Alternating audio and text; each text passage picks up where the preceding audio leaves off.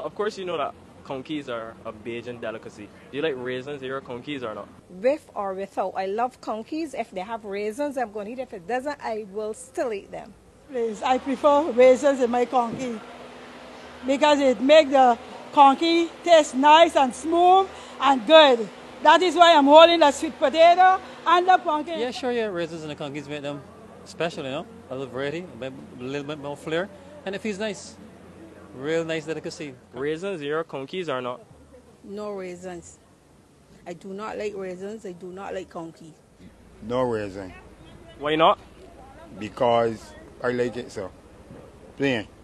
I more prefer the straight meal. I mean the corn, corn that I make out of it, but not with no raisins. To me, it tastes better. Um, raisins. Why?